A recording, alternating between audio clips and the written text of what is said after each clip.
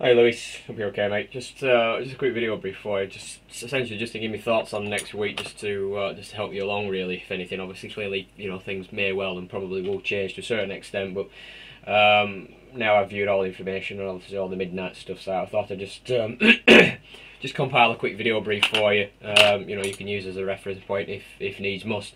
Um, the system obviously for early next week is is essentially really a bit of a damp squib obviously compared to what clearly could have been could have been the case and what obviously we mentioned two three four days ago.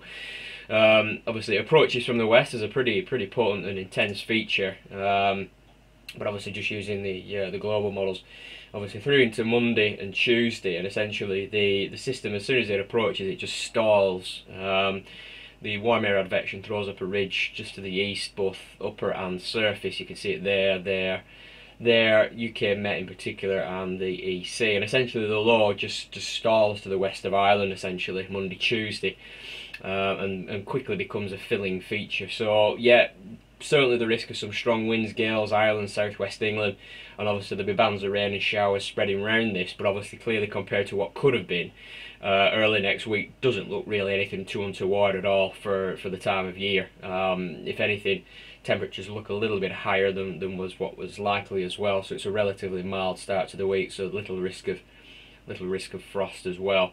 Um, as next week progresses, the as I say, the system fills, it continues to fill it's still there on all the main four global models by the time we get to Wednesday the 28th.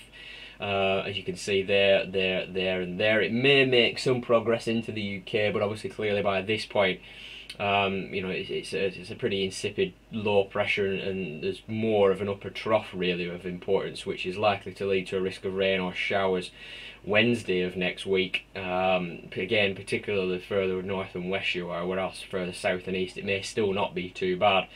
Um, winds by this point probably becoming obviously uh, not much of a feature overall. Uh, and the way it looks at the moment is obviously it's still relatively unsettled to end the week.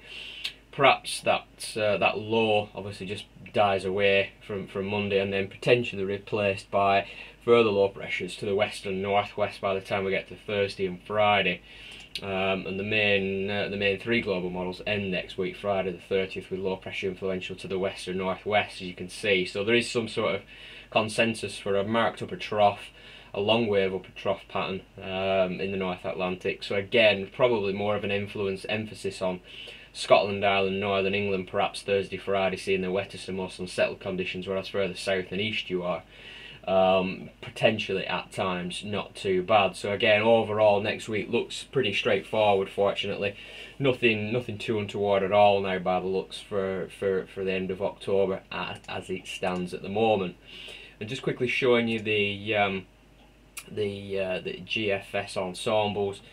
Um, obviously, come again compared with three and four days ago. You know, if you if you remember, we looked at the ensembles, the EC ensembles, and they all were signalling cold. So clearly, a marked flip uh, and uh, as you can see after Saturday Sunday uh, 850s rise to uh, to relatively high levels so uh, a pretty mild week next week little in the way of frost and temperatures probably near or slightly above average to be honest so quite a mild end to October at the moment so that's how things stand at the moment mate. I think uh, you shouldn't have much problem next week. It shouldn't be it shouldn't be anything too untoward at all really